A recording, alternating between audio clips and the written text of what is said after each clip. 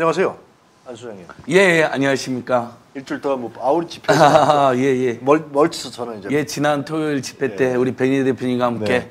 40만 촛불 집회를 성사하고 나타났습니다. 아 변희재 대표님 그날 백운정 그냥 대표님, 베니 대표님이 그날 주인공 중에 한 분, 한 두 분이었죠.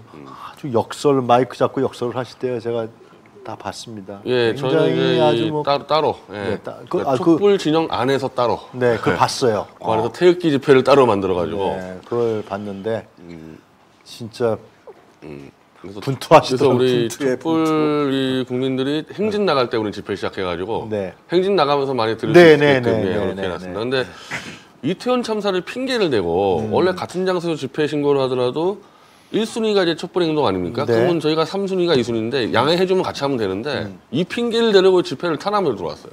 아. 한 구역에서 집회를 두 개 못한다 했는데 음. 사실상 형식상 나눠졌지만은 같은 팀인데도 요거 이제 경찰이 시비 걸어서 뭐 그렇게 조치를 하게 됐습니다.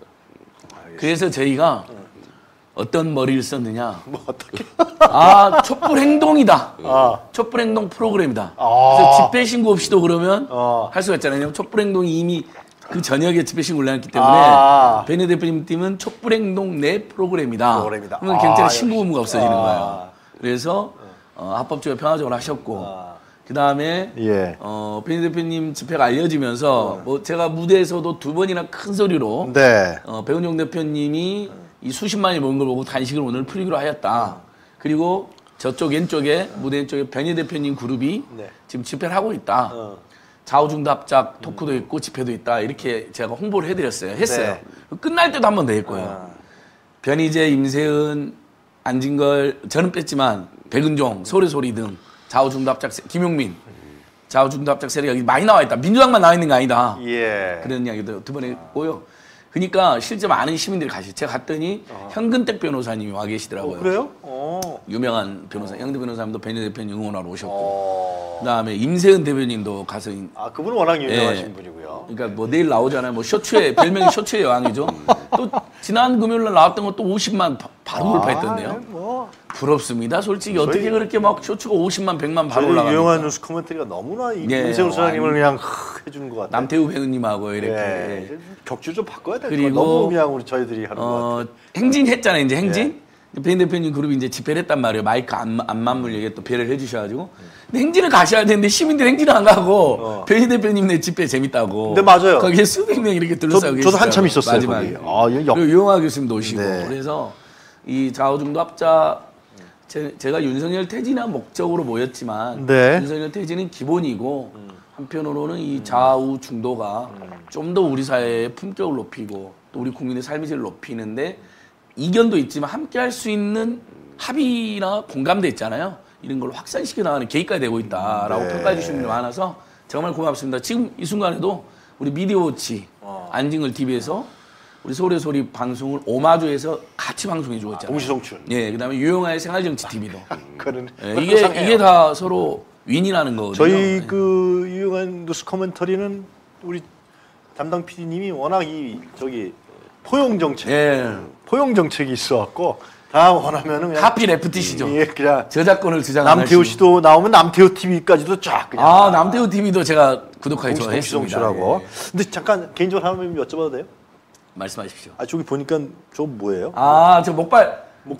저 성 기자님 목발 좀 갖다 주실래요? 왜? 좀 목발 투혼을 좀 맞았어요? 그 김건희처럼 빈곤포로 노는 나쁜 짓이지만 어. 이렇게 진짜 아픈 사람이 아픈 걸 이런 투혼을 보여주는 건 괜찮습니다. 집회에서 그 기동대한테 맞았어요? 아닙니다. 그게 아니고 네. 그 지난주 토요일 날 집회를 앞두고 어. 집회 한 면으로 더 나오려면 막 시민들하고 생활체육을 하는 게 좋잖아요. 그러면서 아.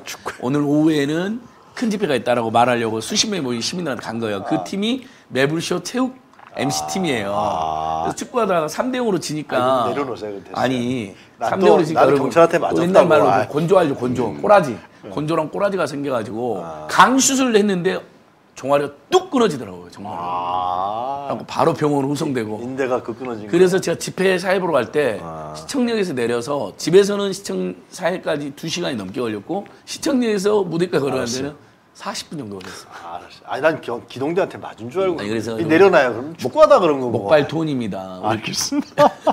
자 알겠습니다. 변희재 대표님은 일주일 동안 뭐 다른 일 없으셨고요.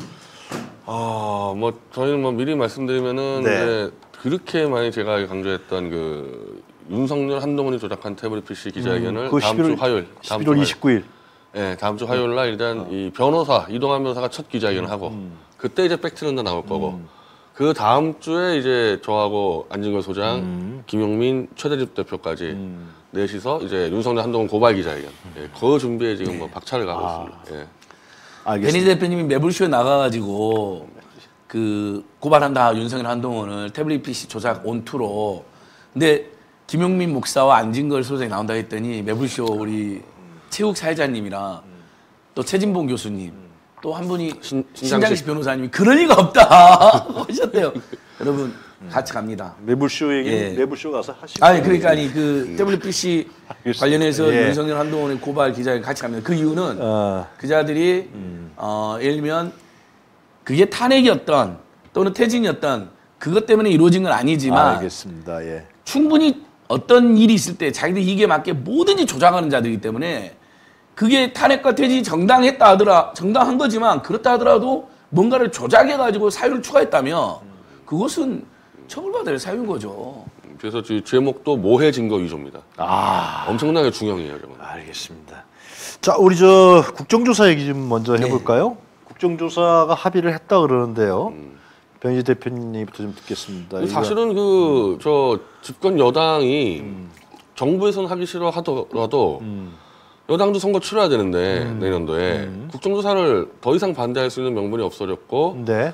그리고 어쨌든 뭐 하기 싫었지만 정주석 비대위원장도 유족을 만나서 음. 소통도 들었고 뭐 여기서 더 더 막았다가는 이게 큰일 날 수가 있으니까 네. 차라리 빨리 들어주면서 국정조사의 이 민감한 사안, 대통령 경호실 일단 빼버리고 법무부 빼버리고 그 대신에 예산하고 이제 뭐 부수법률 통과시키겠다. 그런 식으로 어떻게 보면 좀 여당다운 판단 내린 거죠. 이건 다른 방법이 없었어요. 처음부터 국정조사를 막을 수 있는 게 아니었거든요. 그럼 거기 국정조사에서 많은 부분이 밝혀질 거라고 생각하세요? 그거는 이제 사실 국정조사라는 게 이제 수사권이 없는데 문제는 수사권이 없다 하더라도 국회의원 고유의 자료 제출권이 있지 않습니까? 그렇죠. 그걸 적절히 활용하면 수사권하고 똑같은 거예요, 사실은. 아, 이거는 정말 국회의원 개개인의 역량에 따라서 검사 10명 투입한 것보다 더 제대로 잡을 수도 있는 거고 아니면은 뭐 우리가 흔히 보는 청문회 때처럼 맹탕으로 끝날 수도 있는 거고 근데 저는 좀 이제 민주당에 들어온 그 의원들 몇 면이 저도 바- 명단 이게 봤는데 좀 내가 볼 때는 이게 뭔가- 어 조홍천 씨가 왜 들어갑니까 거기에? 어. 썸덕들이 안 들어간 것 같아요. 그러니까 일단 국민의 명단은 방 국정조사가 아니라요. 국정조사 방해위원회 명단이고요. 조수진 예, 뭐. 그냥 아예 노골적으로 망가뜨리러 가는 겁니다. 근데 변희 대표님 지적 잘하셨는데 이번 이 국정조사는 윤석열 정권이 아무리 포악한 정권이고 폐륜 정권이어도 거부할 수가 없습니다. 유가족들이 나서버렸잖아요. 유가족들을 상대로 정치 공작을 했는데 유가족들이 그걸 뚫고 모인 거예요. 30여 분이. 촛불 집회에도 몇 분이 찾아오셨어요. 무대 서지를 못하세요. 두려워가지고. 뭐로 또 음해를 받고 공작을 당할까 봐. 근데 그래도 민변이나 사면 같은 어, 법률 전문가 단체 나서니까 힘이 네. 거잖아요. 그러면서 거부를 못 하는 거예요. 쫓아가가지고 정진석이한테도 받아라. 국정조사보다 더한 걸 요구했어요. 국정조사 플러스 유가족들이 참여하는 주- 진상조사. 그러니까 거부할 명분이 없었던 거죠. 근데 대통령실이 포함됐다고 지금 윤석열 또 대통령실에서 난리를 피우고 있다는 겁니다. 대통령실에서도 국정상황실. 예. 아니, 대통령, 당연히 대통령 비서실이 아니라 예, 그러니까 국정상황실이나 위기관리센터 정도는 당연히 포함돼야 되는 거죠. 그리고 예, 사실 대통령실이 좀 더 추가 조사 될 겁니다. 왜냐하면 기타 필요하다고 의결할 수 있게 돼 있기 때문에요. 이건 뭐 그리고 유가족들의 승리이자 유가족들 함께하는 우리 국민들의 승리다. 근데 이게 경호처가 들어가야 되는 중요한 이유가 용산으로 옮긴 거. 그거 문제를 짚으려고 그랬는데 경호처는 그날 이제 어쨌든 좁게 보면은 그 참사 당일날 경호처가 어떻게 움직였길래 몇 명이 들어가 있고 근데 이게 사실은 지금 경호처를 목숨 걸고 막은 게 이게 하다 보면은 대통령 동선들이 이제 나오게 되는데 사실 이태원 참사 당일날도 뭐 10개를 지시했다 그러지만은 집에 갔다는 설들이 있단 말이에요 바로 그런 문제들 때문에 이제 경호처는 목숨 걸고 막은 거죠 이거. 지금 당일날 1박 2일간 행적이 굉장히 불분명한데 분명히 1시 넘어서 용산 왔고 3시에 세종로 왔다고 하는데 사진이나 영상이 없잖아요. 오히려 3시 좀 지나서 집으로 퇴근하는 영상이 지금 공개가 되어 있습니다. 고양이 뉴스 등 중심으로요. 그러면 어디서 술을 먹다 들어갔거나 그러니까 전혀 보고를 못 받고 압사를 뭐 내진탕. 내진탕이야. 요즘 내진탕이 근데 댓글이 엄청 재밌는 게 우리 국민들이 요즘 내진탕이라는 말을 잘 안 쓴대요. 우리 국민들이. 예, 내추럴이란 말을 쓰지. 아. 내진탕이 네. 유영하 교수님이나 저희들 어렸을 때 많이 쓴 표현이었잖아요. 네. 요즘은 뇌출혈이나 이렇게 많이 쓴다는 거예요. 뭐 그런 지적까지 포함해서. 그러니까 저는 추적건데 분명히 술자리에서 들어갔다 3시쯤에 보고 왔는데 피곤하니까 일단 자고 아침에 가자 이런 식으로. 그래서 압사, 뭔 압사. 여기 사람들 죽었어 이런 황당한 말을 한 거죠.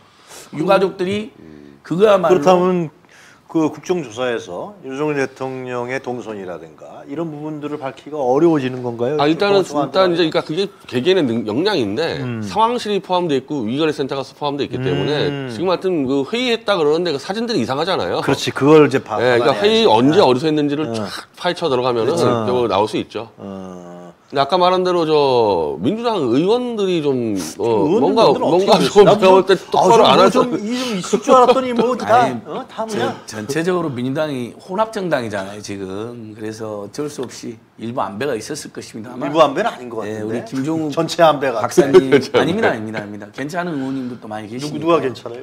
명단 한번 다시 한번 볼까요? 아 명단 난 아니 여기 있잖아 우상호, 우상호 백전 노장이죠. 우상호 김경희 예, 위원장이니까 김경희 그냥 간사가 그- 행안위에서 굉장히 전투력 좀 발휘했죠. 그래요? 진선미 집요하죠. 그건 그다음에 조응천은 좀 논쟁이 있죠. 근데 천준호는 이재명 대표 비서실장으로 꼼꼼합니다. 그다음에 신현영 의원은 또 의사 출신이어가지고 전체적으로 전문성 이 있고 윤건영은 대통령실 비서실 국정상황실장 출신 제가 봤을 그걸 잘할 거고요. 제 정치적 감각으로 봤을 때는 이거는 개파 안배야. 음, 나는 근데 그런 느낌이 딱 들어. 근데 이거는 예. 개파 안배. 국정- 왜냐면 국조 국정조사를 특위에 가서 이제 나가면 이거 완전히 스타로 뜰 수 있거든. 예. 그러니까 이거를 예를 들면 이렇게 한다 그래서 딱 어? 보세요. 여기는 친문, 여기는 386, 여기는 정세균, 어? 여기는 친문, 여기는 검찰, 예. 아, 여기는 아니, 또뭐 권칠승 의원 이재명. 같은 경우도 문재인 정부에서 중기부 장관까지 하신 분인데 하여튼 몰라. 하여튼 이분들이 잘해야죠. 진짜 진짜 사명감을 갖고 해야지. 어? 이건, 나 이건 저난 전형적인 개파 한 바라고 봐요. 아니 저희는 이렇게 하면 될 것 같아요. 배인 대표님께서 쓴소리한 것처럼 쓴소리 해주시고요. 유영학 교수님처럼. 예를 들면 김종국 박사나 제처럼 일단 힘을 실어줘야 할 수도 있잖아요. 쓴소리부터 할 수도 있고. 김종 박사 실어주고. 힘안 실어줬어요? 아까 힘 실어주지 않았습니까? 민주당 잘하셨다고 하지 않았습니까? 저는 이렇게 하려고 합니다, 여러분. 저는 베니 대표님의 지적이 굉장히 타당하다 보고 다만 우리는 한 발 더 나가서 한 발 더 나가서. 일본 촛불행동이나 민생경제연구소 등에서 어. 저 국조위원들 전원 면담을 하는 거죠. 초대해서. 그래서 이, 그래, 게. 얼마나 이게 엄정한 자리냐. 조영천 의원도 어, 꼭 다른 나라 같았으면 퇴- 정권이 음. 퇴진해야 될 사유일 정도로 어마어마한 참사다. 당신들 어영부영하면 이제 옛날 옛날 말로 뒤진다. 음. 국민이 가만 안 있을 거다. 이렇게 강하게 압박을 해야죠. 일단 이게 이제 스타트하게 되면요 증인 가지고 한판 싸움 납니다. 맞아요. 그래서 그것 때문에 깨져서 안 열리는 경우도 있어. 맞아. 그게 세월호 때 그렇죠, 그렇죠. 증인 때문에 안 되는데 여기서 제가 가장 핵심적인 증인이 천공이에요. 천공. 오케이. 천공. 이게 이게 천공의 미신 때문에 벌어진 일이 아니 이걸 따져야 되기 때문에 맞아. 천공 가지고 이제 이걸 돌파시킬 수 있냐 없냐인데 아마 저 여당이 아마 들어눕겠죠. 근데 약간 지체되더라도 천공 가지고 여부쳐야 됩니다. 이거는. 근데 이게 또 하나 뭐죠? 그 예산안 처리 이후에 한다 그러잖아요. 예. 예산안 처리 지연을 내가 봤을 때는 국민의힘에서 할 것 같아. 어? 그렇죠. 지금 여야 합의된 이게 45일로 60일인데 원래 대개 45일로 줄였지. 줄여놨죠. 예. 그리고 12월 2일이 이제 그건데 그 예산안 법정 처리 시한이죠. 민주당은 빨리 처리하려고 그러고 국민의힘은 늦추려고 그럴 것 같아 이게. 이제 뭔가 좀 하여튼. 불안정해 여러 가지로. 어쨌든 천공이 반드시 포함돼야 되죠. 지난주 일요일 날 MB 스트리트에도 네. 그 천공이라는 작자가 아주 자세히 잘 나왔습니다. 뭐 네. 인류의 스승을 자처하는 자가 아니라 네. 대한민국의 지금 괴승을 자처하는 자라는 게 완전히 드러났고요. 네. 그다음에 저는 이건 사실 경찰 언뜻 보기에는 경찰청인 것 같지만 네. 음. 실제 집회 신고는 경찰 관리가 맞습니다. 근데 축제라든지 다중 밀집은 행정안전부 소관입니다. 음. 지자체 소관이고요. 그래서 가장 무거운 책임이 이상민 오세훈 라인입니다. 음. 그래서 실제 이 극우파 중에서도 네. 이 기회에 꼴보기 싫은 오세훈을 제거하는 것으로 이걸 악용하는 사람도 있더라고요. 뭐 저희는 그런 관점은 아닌데요. 네. 그럼 박 저기 윤석열, 한독수, 오세훈, 이상민, 박희영 라인이 책임이 가장 무거운 겁니다. 이 그걸 중심으로 그다음에 천공이 어떤지 장난을 했고 그것이 영향을 끼쳤는지 이렇게 들어가는 게 맞다. 그리고 법무부 장관도 빠졌거든요. 근데 그 마약과의 전쟁 문제가 있는 건데 사실상. 아, 그 이야기는 저도 안 그러려 하는데 아, 그래요? 결국은 그날 마약 단속에 완전히 올인했는데. 아. 그것은 윤석열, 한동훈, 한덕수가 기획한 거거든요. 아니, 한독수는 그냥 신문 보고 알았고. 아니 나중에 한덕수도 지시를 내는 거로 지금 확인이 됐잖아요. 그러니까 하라 그러니까 그것도 포인트죠. 반드시. 근데 그게 법무부 장관이 빠져버렸대. 그러니까 대검을 넣었는데 그냥. 대검은 사실은 좀 의미가 없죠. 어, 왜냐하면 그 완전히 이거는 이 처음부터 그 이태원 그 축제 한 달 전부터 끊임없이 마약으로 여론몰이를 들어갔고 네. 뭐 지금으로 드러난 정황은 마약 몰이를 제대로 하기 위해서 질서 유지를 의도적으로 포기한 그 정황이 있고 네. 그 뒤에서 천공이 그걸 지령을 내리는 정황이 있기 때문에 그러니까 이걸 밝혀내야 되거든요. 그러니까 이 타겟에 길로 가야 되니까 일단 윤석열의 동선이 파악될 수 있는 경호처 빼고 실제로 마약 몰이를 했던 한동훈 빼고 여기에 일단 민주당이 합의해 준 거거든요. 근데 어쨌든 45일 뒤에 연장은 할 수 있어요. 연장할 때 이제 이것들을 다시 포함시키려면은 뭐라도 잡아내야 되는 거죠. 참 근데 보니까 이쪽이 만만치 않아. 저 조수진, 전주회, 뭐 이만희야. 이 사람들이 이제 이- 이번 기회에 이제 이해가- 윤석열에게 이제 눈도장 찍으려고 나오는 사람들 아닙니까? 막무가내로 예, 몸으로. 막으면서 예, 이제 이쪽은 막무가내가 별로 없어 민주당 측은 말이야. 정체적으로 차라리 비교섭 단체에 정의당 아니, 기본소득당 용해 우리 용해인 의원이 전하는 한번 기대를 할 것. 같아. 이 예, 촛불행동 집회 때도 지금 제가 모시려고 하고 있고요. 아 그래요? 그다음에 보니까 진짜 국민의힘은 국정조사 방해위원회예요. 봐 전형적으로. 조수진 예. 얼마나 또 설쳐될 거야. 예, 전주회 아유, 그냥 뭐. 아유 아유 저 심각한 사람들입니다. 박형수도 그렇고요. 글쎄 예, 말이에요. 조은이도 어. 와 서초구청장 할. 때만 해도 저렇게까지는 아닌 줄 알았는데 요즘 완전히 거의 국민의힘 윤석열 민주당은. 지금 다 뭐 별로 이렇게 전투력 인선이 안 보여. 한번 우상호 김교훈 간사한테 한번 기대를 해보죠. 아니 우상 위원장은 제가 뭐 우상호 위원장과 김교훈 간사가 경험도 많고 전투력이 있으니까. 아, 그래요? 아, 예. 점잖 점잖으셔 그다음에 갖고 다들. 음. 다시 한번 말하면 진선미 권칠승 문재인 정부에서 장관까지 한 사람들입니다. 본인들이 문재인 정부에 대한 국민의 실망도 있는데 정권 교체에 대해서 더 이런 건 정말 분발해야 되는 거죠. 요거는 시금석은요 천공을 거론할 수 있냐 없냐를 보면 돼요. 아, 난 근데 여기서 누가 천공을 거론할까? 천준호 의원이 할 겁니다. 음. 같은 천씨로서 천준호 의원이 예, 조홍천 의원 보고 하라 그러세요. 아니 조홍천 의원은 도대체 어떤 생각인지 알 수가 없어요. 근데 왜 여기 들어갔어? 왜 들어갔는지도 알 수가 없어요. 여기서 방해하러 들어왔겠지. 근데 검사 그러니까 출신이니까 아무튼 날카로운 질문은 잘 할 겁니다. 근데 그걸 경찰한테만 하면 국민들이 이미 경찰은 윤석열한테 완전히 난도질 당했잖아요. 아니 이번에. 이번에 그 저 저 뭐야 상임위에서 활, 활약했던 사람들 진짜 목소리 높였던 사람들 법사위라든가 뭐 이성만 의원이라든가 네. 뭐 김용민 이런 전투력 있는 사람들 위에다 아니, 넣었어야지. 장경태 의원 잘하던데. 장경태 예, 어, 다 뺐어 젊은 그냥. 어. 어. 이거는 참 아니, 또- 심각해. 아니, 일단 오늘은 요 정도 정리하자면 국정 국조 이거 좀 아쉬운 거 지적하고 제가 쫓아가서 제대로 해라고 압박하겠다 호소하겠다. 아니 이 국정조사위원들을 네. 다음 촛불 집회 때 초대하세요. 아니, 초대하겠습니다. 알겠습니다. 예. 얘기 좀 한번 들어보세요. 국민 국정조사위원회처럼 같이 하자. 촛불 집회 때이 대표로 나오라고 우상호 위원장 나오라고 하고 좀. 알겠습니다. 국정조사 얘기는 더뭐 중요한 건 지금 천공, 그다음에 마약 수사, 동, 그다음에 사실 윤석열 동선. 또 윤석열 동선 또 그렇습니다. 옮긴 거. 그 다음에 오세훈과 이상민, 의 기이한 행태, 무책임한 행태, 그 다음에 음, 유가족들을 상대로 정치 공작한 거, 예. 이거 반드시 밝혀내야 됩니다. 유가족 못 모이게끔 예, 못 방해 공작. 모이게 그거. 하고 장례식 틀어놓고 한밤중에 시신 옮기고 분향소도 실내에만 설치하고 요 근조 못하게 이전 과정은 네. 전 세계적인 망신거리 미스테리가 됐습니다. 그래서 그 이지한 어머님, 아, 아, 그 논문 예. 나 기자 그 기자회견 장면도 지상파나 뭐 ITN 하면서 보도도 안 하대. 그거 그거 굉장히 저건데 중계도 안 해. 예, 너무 슬프더라고요. 네, 하여튼 저도 동영상으로밖에 볼 수 없었는데 그 이지한 어머님이 유가족에 필요한 건 대통령 사과다. 배상금 10조 준다 해도 합당하겠냐. 하여튼 뭐 보상하는 건 뭐 재빨리 한그 얘기가 왜 나왔냐면은 그렇게 방해 공작 하다가 이제 유가족이 처음 모이니까 네. 놀래가지고 음. 누군가 아이디어 냈나 봐요. 이거 빨리 돈으로 해결하자. 그래서 대통령실 속보로 나왔어요. 네. 특별법으로 보상해주겠다. 근데 이거 누가 봐도 속보이니까 한 두 시간 만에 오보라고 또 나왔어요 대통령실에서.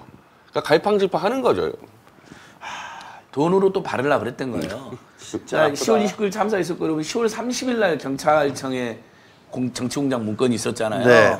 뭐 시민단체들이 이걸 빌미로 퇴진 투쟁을 기획하고 있다는 말도 안 되는 내피셜을 써놓고 저희를 완전 히 편의수로 몰려고 거기에 보면 유가족들을 관리해야 된다는 내용이 집중적으로 들어있거든요. 세월호 때 그걸 실패했다고 그러면서 그러면서 먼저 돈으로 발라버려라 뭐 이런 것부터 나옵니다. 네. 그것대로 한 겁니다. 그래서 유가족들을 관리하기 위해서 일대일 매칭하고 뿔뿔이 흩어놨던 거죠. 근데 모였잖아요. 네. 또한 번 돈으로 관리하려고 그럼 특별법으로 우리가 도와주겠다. 그러면 이제 유가족들이 일부가 떨어나갈 수도 있고 네. 또는 국민들이 유가족이 뭔데 또 특별법에 하면서 유가족을 국민들 고립시키는 여러 양수겸장 그게 나온 겁니다. 네. 근데 유가족들이 황당하게 하고 많은 국민들이 있고 무슨 짓이냐 그러니까 지들이 딱 취소한 거죠. 간을 본 다음에. 아. 진짜 나쁜 짓입니다. 근데 지금 이 유가족들 배상- 중에 지금 돈 이 하는 분이 한 분도 없습니다. 경황이 없어요. 배상 아직까지. 얘기를 지금 끊으면 안 되는 게 이 외국인 피해자들 중에서 이제 사실은 이제 그 사람들 입장에서는 그야말로 이건 뭐 한국이 어떻게 보면 세계 최고의 이 자랑하는 치안을 믿고 온 건데 이거 완전 날벼락 맞아버렸단 말이야. 그럼 그쪽에서는 이제 소송을 준비하는데 그 소송이 자국에서 되게 되면은 예를 들면 미국이다. 미국 법원이 받아주게 되면요. 미국 같은 경우는 징벌죄 손배가 있거든요. 그럼 뭐 조단위가 나올 수가 있기 때문에 그거 보면서 배상을 내야 돼야지 지금은 얘기할 단계가 아니에요. 근데 하여튼 그 이분들이 마, 만나는 것도 뭐 비밀 공작하는 것처럼 만났다 그러잖아. 이그 기자회견 했으니까 얘들 국조라도 받은 거 아니냐 뭐 그런 얘기도 드는 것 같은데 이 유가족 문제는 앞으로 이거 어떻게 뭐 156개 시민단체가 예, 예, 도와주겠다는데 예. 이거 어떻게 될 것 같습니까? 아니 일단 진행이 그 민변 참여연대가 제일 먼저 선언을 했습니다. 네. 그래서 유가족들께서 법률적 대리나 사회적 대리가 필요하지 않느냐 해서 네. 유가족들이 모여든 거고요. 그다음에 또 우리 소래소리나 안진걸 TV도 자주 나오시는 전수미 변호사 팀이 또 따로 있습니다. 거기는 국계, 국가 상대 손배서에 좀 집중하는 팀도 아 있습니다. 전승희 예. 변호사가요. 아. 예. 그리고 이제 촛불 행동은 어쨌든 책임자 처벌 진상 규명에 또 집중을 하면서 가족들이 일부 오셨고요. 또 4.16 연대나 세월호 가족들에게도 연락하신 분이 이렇게 다 못 모였기 때문에 뿔뿔이 연락이 간 거죠. 근데 그 중에서 민변참여연대와 주요 시민단체들이 모인 한 160개, 107개 단체 모인 데 가족들이 제일 많이 가신 거죠. 왜냐하면 가장 실력도 있고 전문성도 있고 또 부드럽기도 하고 정권 퇴진을 주창하는 저희들한테 오기는 서로 부담스러우신 게 있잖아요. 그쪽으로 가신 건 잘하신 것 같아요. 그리고 그 단체들이 책임 있게 잘 리드해가고 아마 가족들이 계속 한 100여 명에 넘게는 지금 모여들으시고 있는 것으로 제가 계속 근데 연락이 이제. 생각해 보니까 그러면은 저 국회 국정조사팀 이제 구성됐지 않습니까? 네. 제일 먼저 해야 될 게 유가족을 불러서 얘기를 들어보는 게 제일 우선일 것 같은데요. 그렇지, 그렇지. 여야 국정조사위원 전체가 나가서 뭐 국회 얼마나 넓은 데 많아요 대회의실 광고 다 내가지고 이때 와라 우리가 듣겠다 그거부터 해야 되겠는데요 어, 국정조사에서 아마 이거를 이제 국민의힘이 반대한다 그러면 이제 그거는 그건 그러니까 끝나는 거지. 어. 그 제일 먼저 그거 하자 그러세요 전그 아는 사람 아는 사람한테 전화해서 없어갖고 나는. 어, 유족들을 불러서 브리핑 들어보자 아, 예, 예, 예. 알겠습니다. 당연합니다. 예. 그 국민의힘이 입장이 바뀐 것도 유가족 면담이 많은 영향을 끼친 거죠. 직접 그분들이 쫓아와가지고 당신들 뭐 하는 거냐. 아니 국정조사 하려는 이유가 이 유가족들이 가장 중심에 있는 거 아니에요? 네. 국회의원들이 국정조사하는 이유가 뭐야? 참사 원인을 첫 순서를 유가족들의 의견을 듣는 거. 예. 청구를 하는 해야지. 시작하는 어, 게 시작해야지. 가장 합당하고 예. 또 가장 어, 신뢰를 깔고 갈 수 있는 길인 것 같습니다. 그렇죠. 그분들 얘기를 듣고 뭐가 진짜 답답하고 어떻게 된 건지 다 그분들 사망 원인도 밝힌 뭐 노상에서 이 말이 돼요 노상. 요즘에 그 추정. 이제 이렇게 되니까 이 보수 뭐, 뭐 보수라고 생각도 안 되지만은 이 보수 언론하는 사람들을 특히 정규재 씨가 그냥 대놓고 질러버리는데 뭐라 그랬어요? 길거리에서 죽은 1차원적 죽음 엔조이 애들끼리 엔조이 하다가 길거리에서 1차원적인 죽음이고 부모들은 유족들은 대국민 사과하라. 어, 애들 관리 못한 거에 대해서. 이렇게까지 나오네 이게. 야, 요즘에 하여튼 요즘 이 보수 좀 언론계가 저 YTN하고 TBS 자리가 날 것 같으니까 서로 충성 경쟁 하냐고 난립 난리야 아, YTN 그 한 10개 기업에서 달라붙었다면서요? 그냥. 폐륜의 끝판왕입니다. 폐륜의 끝판왕. 아, 정규재 그 사람 그 전에 박근혜 대통령 그저 저 저, 저, 인터뷰한 사람 아니야? 탄핵당할 때? 맞습니다. 그때도 이제 그러니까 전경련 소속인데 지금 YTN은 지금 전경련 계열이 지금 인사를 다 하다 보니까 뭐 제가 볼 땐 그 자리 노리는 것 같아요. 근데 어 지금까지 뭐 유족들 좀 욕한 모습도 있었지만 대국민 사과를 요구한 거 처음 봤습니다 유족들한테. 애 잘못 키웠다고 사과하라고. 아니, 인륜 인륜의 완전히가 인간이 아니다 진짜. 그러니까 뭐 천공도 있는데요. 뭐. 아, 모습. 대량으로 희생돼서 기회를 줬다잖아요. 네. 참 입에 입에 올릴 수도 없는 여러분 음, 네. 이 분노를 똑똑히 기억해서 토요일 날마다 촛불집에 나오시고 또 주변에 널리 알려주십시오. 예. 저희가 상대하는 자들은 인간이 아닌 자들입니다. YTN에서 40만 보도했다고 또 그 했다고 그래서 또, 또 난리치대. 40만 그 모여서 대통령. 집무실 주변의 TV를 YTN에서 전부 연합뉴스 TV로 싹 교체했다고 합니다. 그러니까 얼마나 치졸하고 유치하고 반사회적인 자들입니다. 예. 또 YTN은 그 40만 보도한 거 뉴스 나갔다가 밤엔 또 그걸 뺐어. 뺐어요. 아니 어쨌든. 그 주최 측 표현을 했을까 주최 측 추정을 했을 거 아닙니까? 주최 측 주사로 나가는 거죠. 거지. 안지걸 수사님이 그건 40만 어, 얘기했다고 얘기했다는 보도한. 건데. 그러니까 그건 압박을 또 심하게 받은 거죠. 압력을 받았을 겁니다. 대통령 지금 항의했을 겁니다. 아 그거 그것도 왜 항의해? 그러니까 CBS도 보세요. CBS가 대통령 윤석열 빈 관저 수백 명 기동대가 지켰다. 팩트잖아요. 네. 근데 대통령에서 항의한 모양이에요. 사장이 누달 나서서 나라 빈집. 나랑 그런 식으로 기사 안 쓴다. 그게 뭐 하는 짓입니까? 지금 한국 언론이 이미 죽었습니다. 망했고 미쳤습니다. 자, 그래서 우리 언론 얘기 좀 하죠. 이 어, 기부금품법 위반 이건 뭐 백원종 대표님한테만 국한된 것이 아니고 전체 유튜브 언론이라든가 대한 언론에도 같이 문제가 될 것 같아서 제가 저희가 주제를 잡았거든요. 이 후원금 모금을 했는데 이게 기부금법 위반이라고 이걸 경찰에서 아마 조사를 하는 모양인데 이거 어떻게 봐야 됩니까? 그건 이제 탄압할 게 없으니까 완전히 꼬투를 잡는 거죠. 예. 그 예전에 2008년도에 안티 EMB 활동할 때 이미 백원종 대표님이 대법원 판례를 남겨놨습니다. 집회에 참석한 사람들이나 회원들, 적극적 후원자들에게 걷는 것은 일반 공중을 상대로 해서 기부금을 걷는 것을 규제하는 기부, 네. 기부금 품법 위반이 아니다. 그래서 2010년 박근혜 정권 퇴진 비상국민행동 때 저도 고발당했는데 그 똑같은 걸로 그것도 무혐의 이유가 박근혜 정권 퇴진 비상국민행동이라는 게 수천 개의 시민단체고 집회에 나오신 수십만 수백만이 일종의 후원자로 나온 건데 그 사람들이 낸 게 어떻게 기분품이냐. 예를 들면 모르는 사람들한테 막 TV에 무차별적으로 막 인터넷에 막 지나가는 막 사람들한테 또는 온라인 있는 사람한테 막 거둔 게 아니지 않느냐. 그래서 무혐의 처리됐거든요. 근데 그냥 시비 거는 겁니다. 서울에서 우리 괴롭히기 차원에서 유튜브도 근데 제, 제가 알고 있는 이 기부금품법의 상식은 뭐, 뭐 이건 뭐, 뭐 진보든 보수든 시민운동한 사람은 다 아는 얘기인데 네. 기부금품법을 이렇게 천만 원 이상 모은다고 이렇게 신고를 해버리면요 그 돈에 대해서 세금을 안 걷는단 말이에요. 그래서 면세가 되는 거야 따지면은 네. 그렇기 때문에 관리를 하는 건데 그래서 지금 서울의 소리가 지금 사업자로 등록돼 있지 않나요? 네, 그렇습니다. 네. 그 사업자로 등록돼 있으면 이제 세금을 낼 거 아닙니까? 네. 그럼 이거는 사실은 후원금이라 그러지만은 법적으로는 소득이 돼요. 아. 기타 소득이. 그 관련해서도 낼 거라고. 그럼 예를 들면 네. 미디어치도 마찬가지인데. 네. 아, 미디어치도 미디어치 마찬 우리는 이제 법인 사업체니까. 아, 법인이에요? 우리 정확하게 이제 기타 소득으로 잡히고 그에 대해서 뭐 부가가치세, 법인세 다 낸단 말이에요. 그러니까 기부금품법하고 관계가 없는 거예요. 소득, 소득 이제 소득이고 세금을 내는 거기 때문에. 그래서 그럼 유튜버도 그러니까 지금까지 왜 처벌 안 받았습니까? 다들. 그 네. 얘기거든요, 이거는. 네. 아. 근데 그걸로 그러니까 경찰이 그러니까 기소 의견을 송치했다 그래서 좀 납득이 안 돼요. 이거 분명히 사업자가 있을 텐데 여기는. 예. 아니 그러니까 차라리 소득세를 물리면 되죠. 기부 그리고 기부금품법은 악법 중에 악법입니다.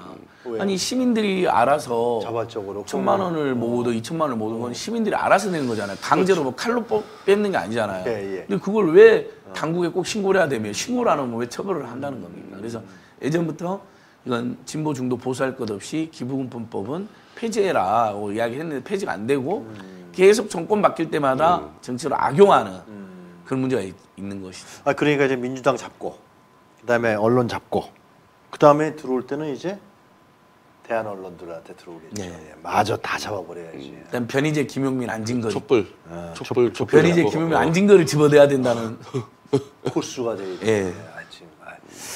아, 아. 그런 의미에서 한번 저희가 다뤄봤는데요. 아 그럼 이번 주 토요일 날도 집회를 하시, 다 하죠? 아, 몇 그럼요. 시? 네네네. 예.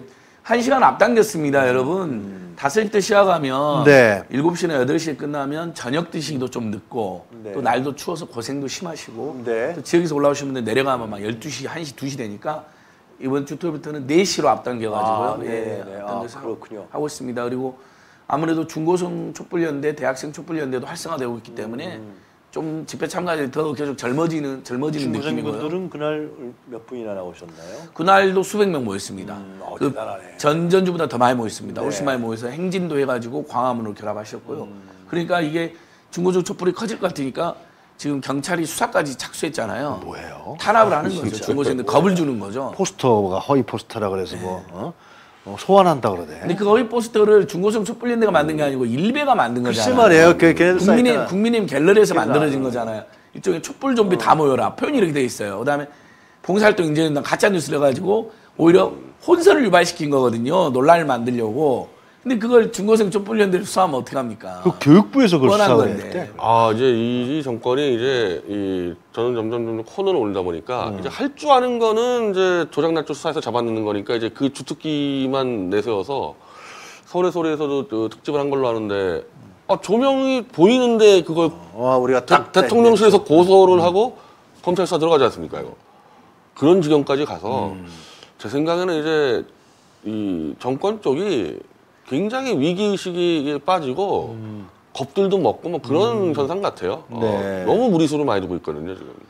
다음 12월 집중 집회가 네. 16일인가 17일인가요? 맞습니다. 12월 17일 여러분 총 집중인데 매주 매주 총 집중이라 생각하시면 좋은데 어때 매주마다 그날 코로나 그날 걱정 우리 100만 가수하 예, 예, 예. 가수하면은 12월 17일은 정말 100만 명 정도를 모일 저희가 모일 네. 거로 예상을 합니다. 왜냐하면 6개월이 훌쩍 지나고 7개월, 8개월째이기 때문에 이제 6개월이 안 됐다, 아직 부담스럽다는 여론도 없어질 거고요. 네. 그다음에 이태원 참사에서 이들이 저지르는 유가족들을 상대로 하는 정치 공작, 조문까지 정치 공작 대상을 삼는 걸 그 분노, 거기다가 날마다 나쁜 짓을 하고 황당한 짓을 하는 윤석열, 김건희 단 이제 누적된 분노가 실망이 12월 17일이 딱 100만 명이 모이기 가장 좋은 날이다. 정세상. 그래서 진짜 100만 명 여러분 한번 모아주시고요. 매주 토요일도 오시면 좋은데 여전히 코로나나 물가 걱정 때문에 조금 부담스러워 하신 분들이 있는 것이 같아요. 노동계하고 좀 대화도 해서 말이죠. 민노총이든 노총이든 이 생존권 문제 이런 것도 좀 풀어야 돼. 지금 김문수 뭐 하죠, 지금? 뭐 글쎄 나그 얘기 하려고 그랬어. 그, 그 구단체 집회 어디 갔지? 계시죠. 아, 어디 갔어? 지금? 아무것도 하시는 지하철 게다 지금 파업한다 그 그러는데. 그쪽에 그 경산호위 그 사무직 무슨 뭐 상징 상근자들 지금 다 다 어떻게 해촉을 하고 아직 뽑지도 못하고 정말요? 예, 본인은 그 전원을 해고했어요 전원을 전원 계획 연장을 이제 안 해버리고 그거 다시 뽑으려면 얼마나 오래 걸리겠고 업무 파악하는데 얼마나 오래겠어요 그러니까 아 그렇게 해놓고 이제 집회 다니고 있구만 대기 집회 아, 또 그 구구 세력들 그 거기다 또 앉히려고 그러는 거구나. 그럴 겁니다. 이미 본인 김문수 TV 관계자를 안 쳤잖아요. 벌써요? 예. 걸렸잖아요, 그러다가. 그럼 그 김문수 위원장은 지금 벌어지고 있는 노동계의 문제, 화물연대 파업, 아, 뭐, 목소리를 들은 적이 없네 진짜 생각해보니까 그 그거에 대해서 뭐 한마디 얘기도 없어. 뒤에서 공작하고 있을 것입니다. 무너, 무너뜨릴 공작. 쉽지 않을 걸. 지금 이제 이게 노정 간의 정치 파업이라고 미리 한덕수 총리가 규정을 내렸대요. 어? 아니 이걸 그들이 뭐가 문제인지 안정운임제라든가 이런 걸 들어보면서 타협이라든가 대화를 모색할 생각은 안뭐 하고. 김문수 위원장은 자기는 뭐 노조는 자기 말 한 마디면 다 듣는다고 이제 그렇게 평소에 네, 이제 해서 네. 윤석열 대통령도 이제 그거 믿고 시켰는데 어, 내 후배들이니까 다 정리할 수 있다. 속은 거죠. 거기는 보니까 서로 속여. 이준석도 속이고, 김문수도 속이고, 어. 서로 속이고. 아 진짜 아 김문수가 다 만나서 할 수 있다 예, 했잖아. 예. 근데 뭐 만, 민주노총 산별연맹 위원장 만났다가 거짓말 치고. 어, 만났는데 왜 파업해? 예. 그래서 지금 노동계 유영아 교수님 질문 답을 하면 여러분 네. 지금 현재 촛불행동이나 퇴진 집회에 주요 야당, 그다음에 양대 노총, 그다음에 농민회 가안나 이렇게 조직적으로 안 나오는 게 사실입니다. 뭐 주- 국민의힘은 조직 동원에 따른 전혀 사실이 아니고요. 네. 전혀 안 나와서 문제죠. 의원들 개별적으로 이제 네, 네. 지난 토요일 날 일곱 분이 예, 나오신 예, 거고, 예. 그다음에 파악해 보니까 진보당이나 정의당, 녹색당 등의 야, 그 진보 야당 당원들은 개별적으로 나오고 있어요. 아, 그래요? 당 차원에서는 매우 소극적이거나 부정적인 거 아직도 양대 노총도 강력 규탄을 하는데 퇴진 집회까지는 안 나오고 있어요. 아직은. 근데 그게 이제 6개월이 안 됐다는 것도 일부 있었고 그다음에 촛불행동과 함께 논의 틀이 없는 그런 문제도 있어요. 그래서 저희가 윤석열 퇴진을 위한 범국민 본부를 정치권과 전국 모든 시민사회 노동단체에 제안한 겁니다. 아. 그걸 위해서 시국회를 하자. 원탁회의. 원탁회의도 거기 우리. 변, 변희 대표님 당연히. 아, 당연히 네. 정통 보수 세력을 대표해서 변희 대표님이나 뭐 최대집 전 회장 누구라도 우리는 이거 열려 있는 공간이니까 그 전에 입장의 차이가 있었어요. 얼굴 붉힐 일도 있었을 수 있죠. 전 대표님이랑요? 아니 그러니까 사람들마다 그럴 수 있잖아요. 세력들마다. 그다음에 야당들도 서로 다 사이가 좋은 게 아니잖아요. 막 싸우고 그러잖아요. 하지만 윤석열 퇴진 김건희 특검이란 대의에 다 모이자. 이건 거스를 수 없는 흐름이다. 이렇게 보고 정의당은 왜 이렇게 소극적이에요? 이정미 대표에서. 뭐 이정미 대표가 됐으니까 좀 달라질 거라고 기대하고 있습니다만. 그러니까 이 이럴 때 정의당이 더 나서줘야 되는 거 아니에요? 2010년은 그랬죠. 음. 그러니까 이제 정의당이 어, 정의 돕고 줏대 돕다 이런 이제 비판을 받게 되는 것 같아요. 음. 그러니까 이 촛불행동의 퇴진 집회를 여야 간의 공방으로 이해하고 있답니다. 누가요? 정의당 일부 세력들이요. 왜요? 제가 알 수가 없습니다. 아, 신기하다. 그 진짜, 진짜 국민들은 너무 팩트예요? 분노하고 열받은 팩트예요? 아니 그분들이 쓴 페이스북에 보면 이건 촛불 대 태극기의 대결이 아니다. 좌우 기득권의 대결이다 이렇게 써놨어요. 실제 제가 봤어요. 기가 막히죠. 촛불 집에 나오는 사람들이 무슨 기득권이 있습니까?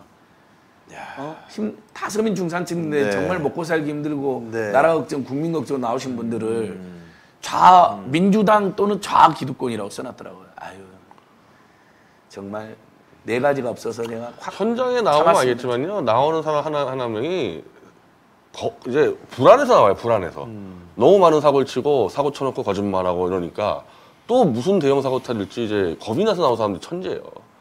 정파적 관점이 거의 못 느껴질 겁니다. 현장 나오면은. 맞습니다. 그 마지막 건 우리 변희재 대표님 그 11월 29일 날 기자회견과 태블릿 음. PC 그거 좀 다시 한번 정리 좀 해주. 미리 좀 어떤 내용인지 좀 얘기해 주시고. 어, 제가 예. 뭐 우리 박사님한테도 제가 뭐, 뭐 네, 봐- 봤습니다. 그랬고 이제 제가 이제 네. 저희가 이제 업그레이드를 이제 주말에 MT를 네. 가서 완전히 업그레이드 시켜서 올 건데 음.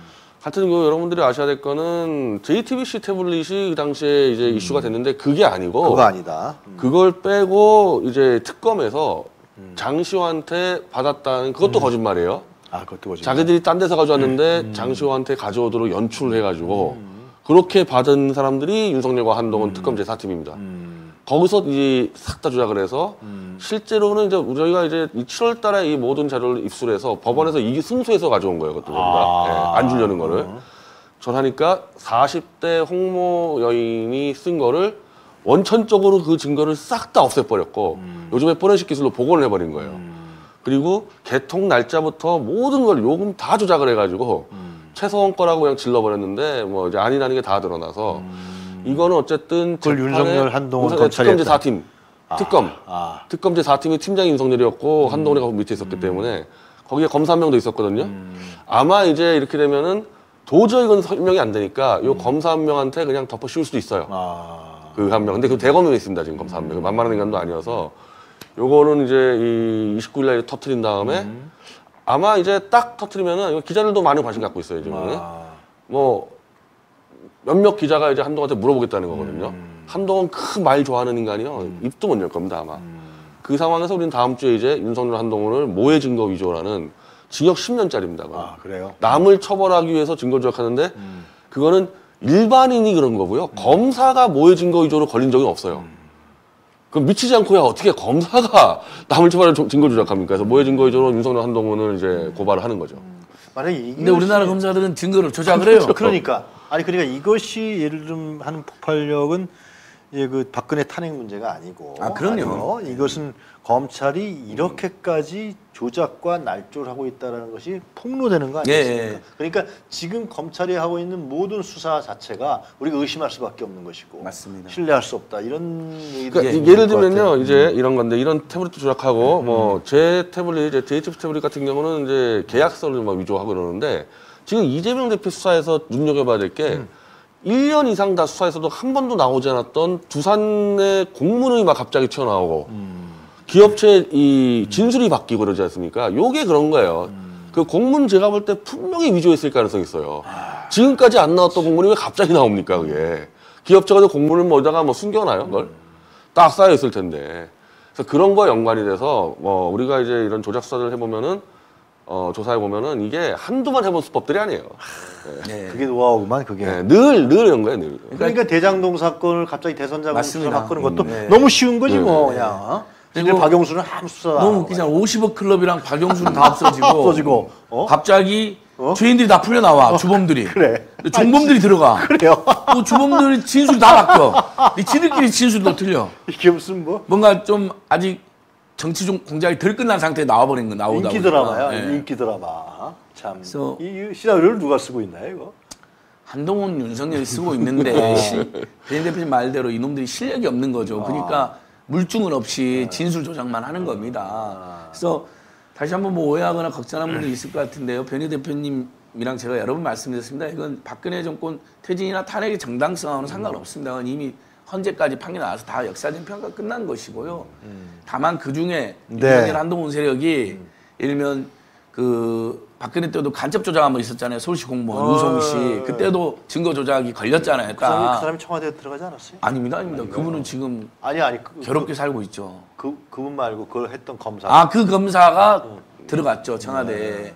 그러니까 아니 요- 윤석열 집무실에 들어간 아, 거죠. 예. 청와대가 아니라. 음. 예, 간첩 조작 사건에 연루된 자들도 지금 득세를 하고 있는 겁니다. 그다음에 간첩 사건 연루되는 이두봉이한테 사과해라니까 끝까지 사과를 안 하잖아요. 윤석열 채찍인데 그러니까 이 자들이 탄핵 국면에서도 음. 예를 들면 아홉 가지 잘못만 지적해서도 탄핵이나 퇴진이나 처벌이 충분히 되는데 아예 상대를 악마하고 짓밟아 버리려고 A나 B 같은 걸 조작해서 첨부했을 가능성이 농후하다. 평소 행태 그리고 지금 그것을 문재인 죽이기, 이재명 죽이기, 민영 죽이기에 똑같이 보여주고 있기 때문에 이, 이 베니 대표님 말한 이슈 제기가 아주 의미가 큰 겁니다. 그래서 저희들 또 함께 연구를 하고 있는 것이죠. 네. 그리고 요 건 대해서는 일단은 이제 저희가 발표한 다음에 제가 공언한 대로 이제 대구를 중심으로 영남권 들어가서 음. 원래부터 이 윤석열 한동훈 특검은 조작했다고 떠들었던 지금 그 노인들 음. 윤석열을 떠받치고 있는 이 노인 세력들한테 집중적으로 퍼부어서 이제 음. 지지층을 무너뜨려야 되는 거죠. 이거. 알겠습니다. 그럼 올해 안에 다 정리됩니까? 저는 꽤 많은 이제 아 요즘에 안 네. 그래도 지금 보수 언론들이 최근에 그 연석했다는데 어 이건 조영환 저 오린 코리아 대표 그리고 심동보 제복 그 제독 그리고 이주천 원광대에서 우리, 우리 보수 언론들인데 음. 네. 한 30명 모였는데 절반이 다 철회했대요. 윤석열 도저히 어, 막할 수가 없다. 아, 그래요? 예, 예. 그래서 보수 지지층의 그 핵심들이 지금 무너지고 있습니다. 아. 그 사람들은 바로 이제 이- 이쪽으로 올 거예요. 태, 이 태블릿 조작으로 다 이제 아, 올 겁니다. 변희재 대표님하고 예, 같이. 원래 같이 이걸 했었으니까. 아, 많이 그런 분들이 좀 변화가 있겠군요. 자, 우리 많이 얘기했는데요. 마지막으로 하실 말씀들이 있으면 예, 결국 이 극악무도한 정권에 대한 해법은 강력한 규탄과 사회각계학적 비판도 맞지만 그것만으로는 안 됩니다. 네. 그것만으로는 저지가 안 되잖아요, 여러분. 네. 규탄이나 비판에도 듣지도 않잖아요. 그럼 결국 국민들이 끌어내리는 수밖에 없습니다. 네.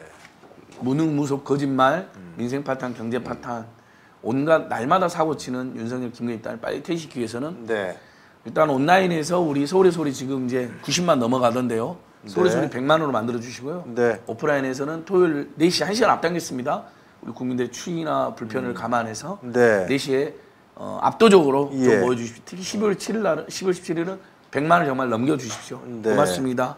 항상 예. 믿을 게 우리 국민들밖에 없습니다. 절박한 심정으로 여러분과 끝까지 함께 하겠습니다. 항상 그랬어요. 예, 항상 국민이 다 해왔어요. 예.